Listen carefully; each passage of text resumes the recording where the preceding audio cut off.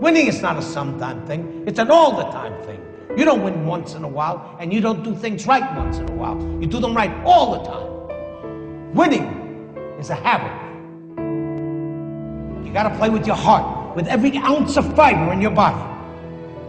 I've never known a man worth his salt who deep down in his heart didn't appreciate the grind, the discipline, and to win, and to win, and to win. It is and always has been an American seal, and that's to be first, regardless of what we do. There's no room for second place. There's only one place, and that's first place. I finished second twice in my time, and I don't ever want to finish second again. But I firmly hold that a man's finest hour, the greatest fulfillment to anything he holds dear, is that moment when he has worked his heart out in a good cause and lays exhausted on the field of battle, victorious.